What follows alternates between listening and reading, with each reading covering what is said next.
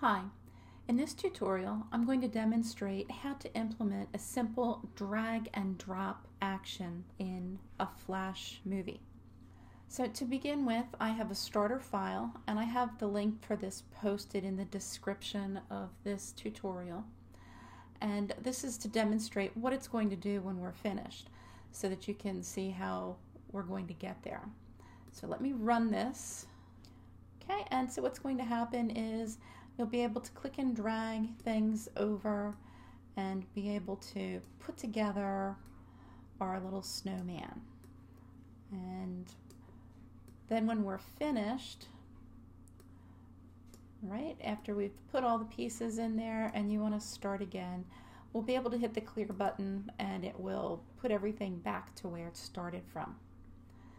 So I'm going to open up the starter file that I have posted and show you how it's set up already.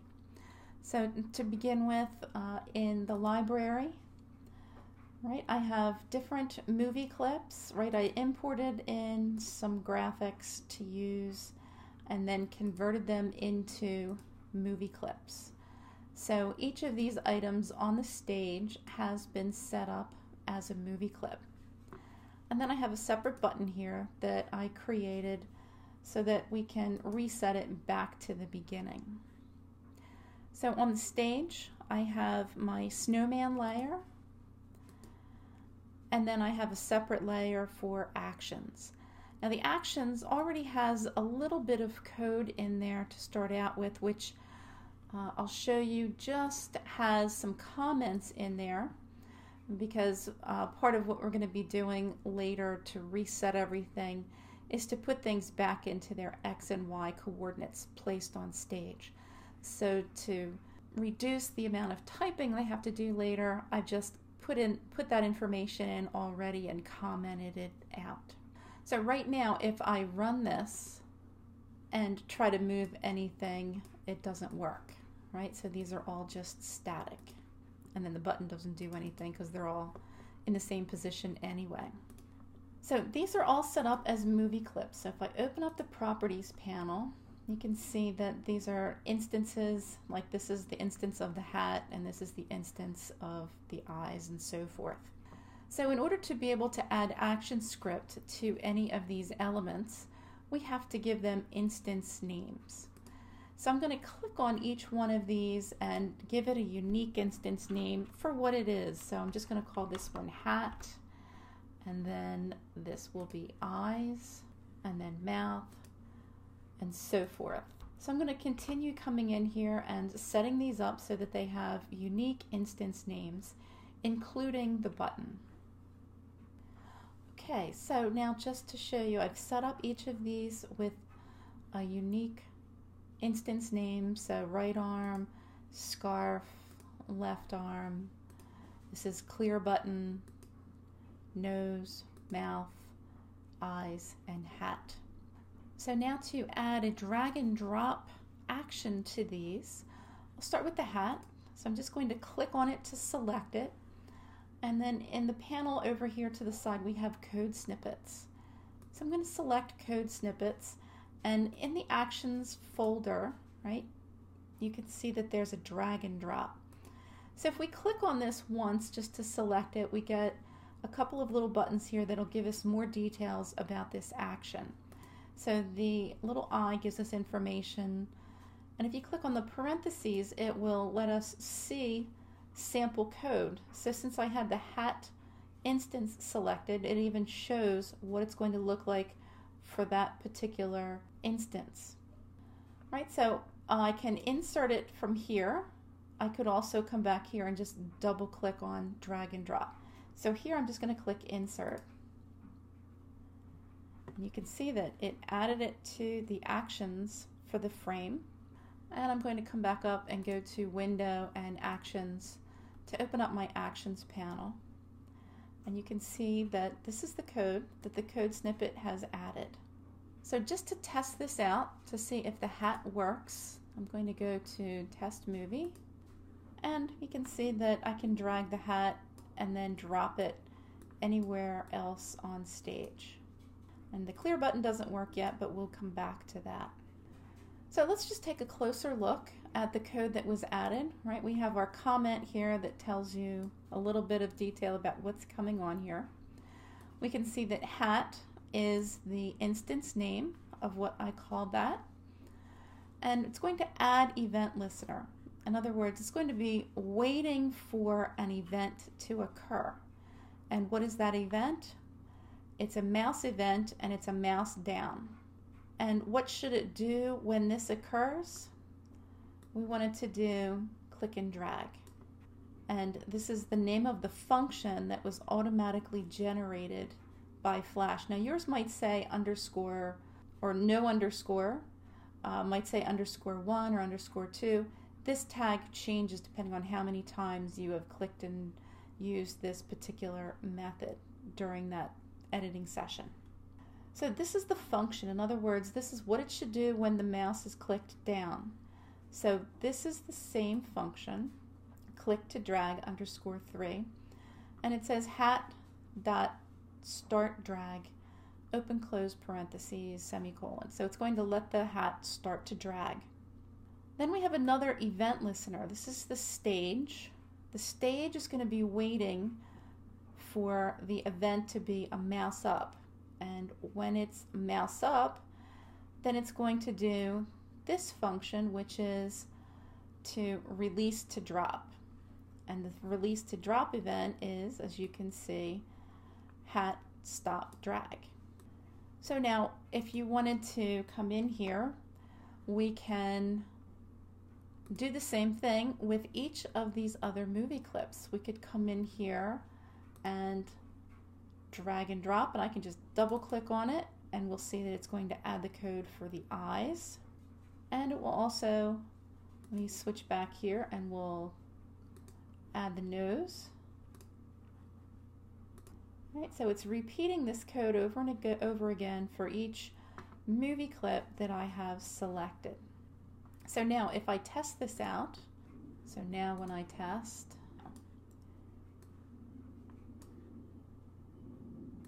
So we could go in and add the rest of these, but for time purposes, I'm not going to do them, right? So I'm going to close this.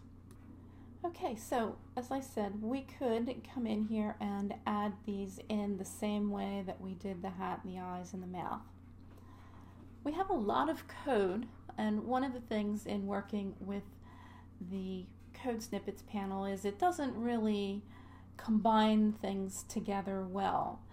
Um, so you see that this all worked fine, but I just want to show you another alternative. So if we come in here to actions, this is kind of repetitive in here. It's waiting, the stage is waiting for an event listener for the mouse up, and the only difference between this mouse up event and the one for the nose mouse up event is which thing we want to stop dragging. And then the same thing for what we want to start dragging. They're all the same except for the movie clip instance that we want to start dragging. So what I'm going to do is I'm going to delete all of these except the first one. So I'm just going to come up here and remove those. And to help us make this a little more sensible, right, something that has more meaning, why don't we say uh, the name of this event would be to start drag. And then I'll rename the function here to match with start drag. And then the event that we want to happen when the mouse is released is we'll do stop drag and stop drag. Now instead of being specific about hat, I'm just going to comment these two lines out. And let's look at some a way of saying something more generic. And a way of doing that, of referring to that, is we can say event dot target. So the item that started this whole thing, we can be generic about saying what was clicked, and that was the event target. So if we chose the hat, then event dot target is the hat and let's say event.target stop drag. So now we have the hat event that's being listened for, but I deleted the other ones. So I'm going to say eyes, mouth, nose, and we have right arm, left arm, and scarf. And we want all of those to listen for this event. So I'm just going to copy this and paste it in. Okay, so now I'm going to save it and I'm going to try to run it and see what happens. So not able to drag here. So let's see what's going on. Okay, my error messages are displaying down here on the compile errors tab. And it says overriding a function that is not, not marked for override. In other words, I ended up using start drag, which also happens to be the name of the function here. So I'm really kind of reusing the same function name.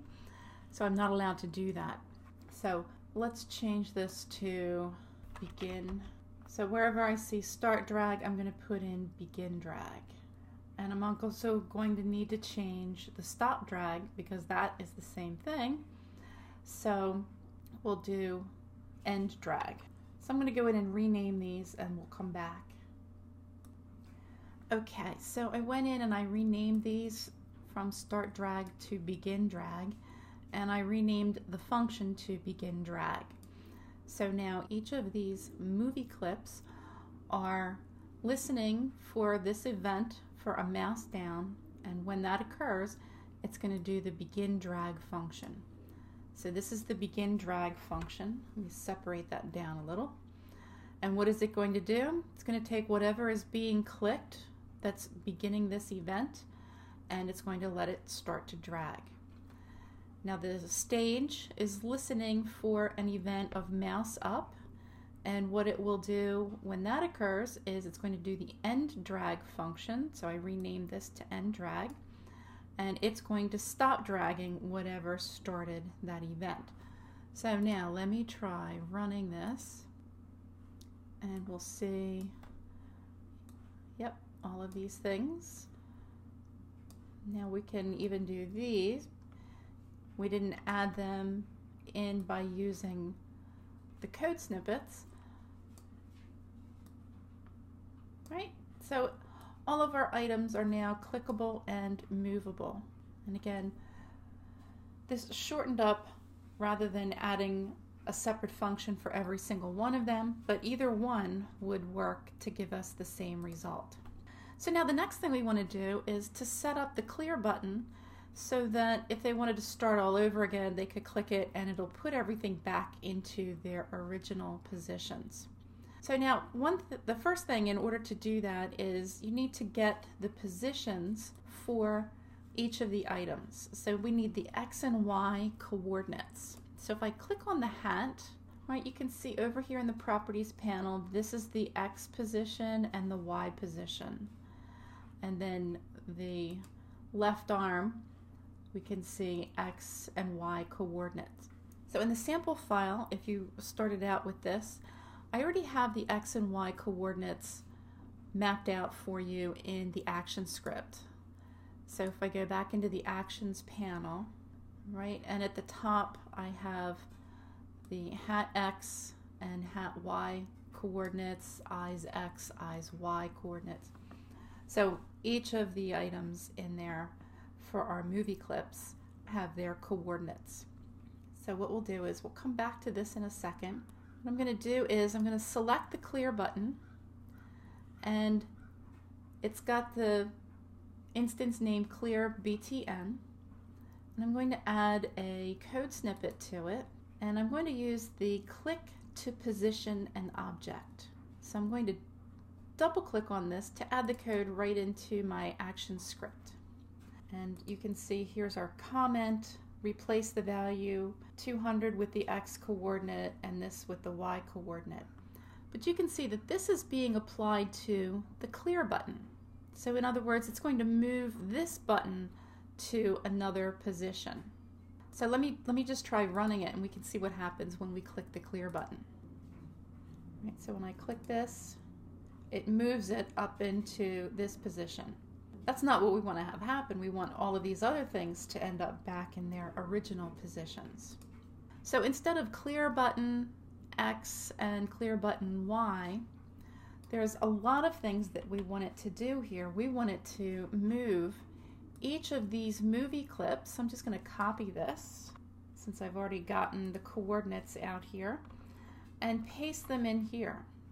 So when we click the button, it's going to do all of these things. It's going to change the hat back to its X and Y coordinates, the eyes back to its X and Y, and so forth.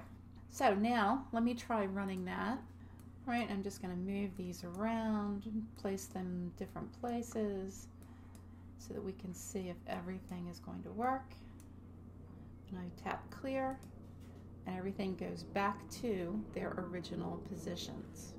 So that's an example of using code snippets in order to add drag and drop and then also a little bit more of streamlining some of the code and how to reset our items back to their original positions.